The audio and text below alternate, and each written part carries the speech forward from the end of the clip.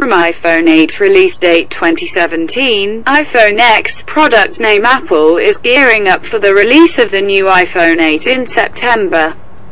The much-awaited handset is anticipated to be a radical redesign for the Cupertino, which will impress the industry for the 10th anniversary of the smartphone Apple's soon-to-be-announced 10th anniversary iPhone flagship smartphone.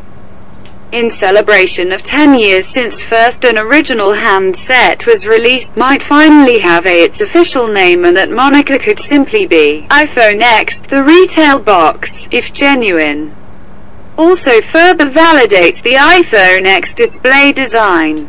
Many in the industry are expecting an almost bezel-less edge-to-edge OLED display with a small portion in the top to house the earpiece and front-facing camera and other sensors. This is indeed identical to the display design that we have seen in the leaked iPhone video earlier this week. The radical design of the new iPhone X is going to be the massive revamp for Apple. The conventional physical home button, which was equipped since the original iPhone, is gone forever and Apple is using an OLED display panel for the first time ever in the line. New innovative features will also be launched including with inductive wireless charging, IR-powered face scanning capability, and among others.